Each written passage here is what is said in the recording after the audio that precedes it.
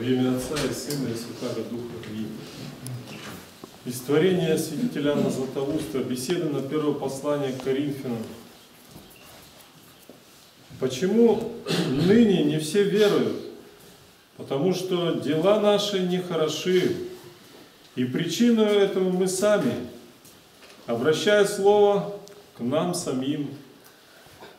И тогда, то есть в древности, обращались к вере не одними только знамениями, но многие из обращающихся привлекаемы были и жизнью верующих. Так говорится, да светит свет ваш пред людьми, да видят ваши добрые дела и прославляет Отца вашего Небесного. Тогда у всех было одно сердце и одна душа, и все было общее. И жили они жизнью ангельской. Если бы, ты, если бы тоже было и теперь, то мы обратили бы всю Вселенную без знамений. Потому желающие спастись, пусть снимают Писание. Здесь они найдут и такие, и еще высшие добродетели. И сами учители изобиловали ими, проводя жизнь в голоде, жажде, наготе. Мы хотим жить в роскоши, в неге и удовольствиях. Они же не так жили, но говорили, до нынешнего часа и алчим, и жаждем, и терпим наготу, и страждем, и скитаемся. Один из них путешествовал от Иерусалима до Иллирии, другой в страну индийцев, третий в страну мавров, иной в другие части Вселенной. А мы не решаемся даже выйти из Отечества, ищем роскоши, великолепных жилищ и всякого другого богатства. Кто из нас когда-нибудь терпел голод за Слово Божие? Кто был в пустыне? Кто предпринимал далекое путешествие?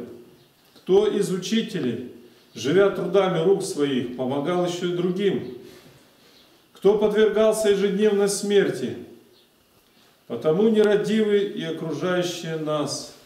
Воины его начальники, когда переносят голод, жажду, смерть и все бедствия, тогда побеждают и холод, и опасности, и все, как львы, и совершают дела доблестные.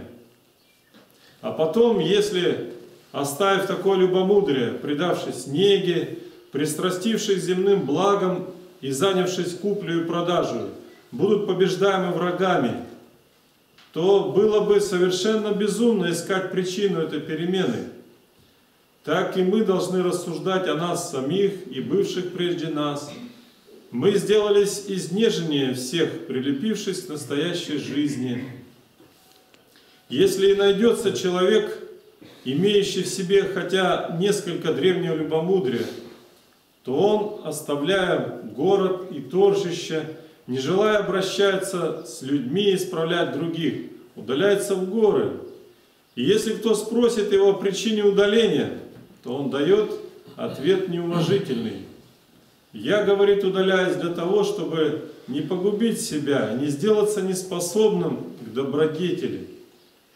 Но не лучше ли было бы тебе быть не столь добродетельным и доставлять пользу другим, нежели пребывать на высоте и с презрением взирать на погибель братьев. Если же они не родят о добродетели, а другие, пекущиеся о ней, удаляются из строя, то как мы будем побеждать врагов наших? Кто убедился бы, если бы теперь и были знамения?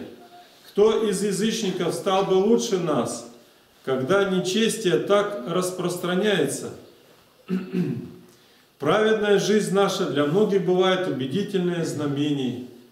Люди бесстыдные и злые могут зирать на знамения с мыслями коварными, а чистая жизнь может с великой силой заградить уста самого дьявола.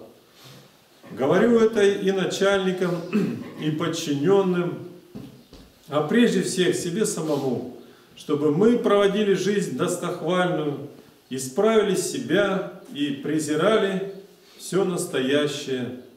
Будем презирать имущество, но не гиенну. Будем презирать славу, но не спасение. Будем здесь трудиться и терпеть, чтобы там не подвергнуться мучению. Так будем ротоборствовать с язычниками. Так будем увлекать их в плен, который превосходнее свободы. Впрочем, это часто и непрестанно говорится нами, только редко исполняется. Но исполняется или нет, наш долг непрестанно напоминать об этом, так как если иные для обольщения других говорят столько увлекательных речей, то тем более ведущим к истине не следует утомляться, возвещая полезное.